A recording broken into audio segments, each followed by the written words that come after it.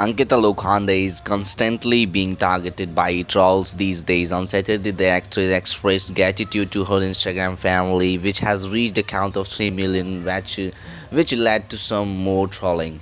Hashtag 2021 I welcome you with my open heart. Happy New Year, everyone. Cheers to 3 million followers. Thank for all the love. Ankita Lokhande, New Year 2021.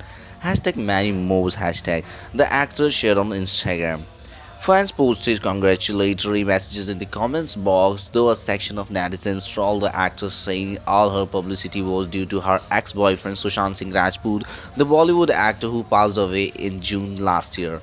Half of your followers are fans of Sushant, commented a user. This has happened due to Sushant. Suggested another user 2 millions from Sushant's fans. Please don't forget that, shared another user.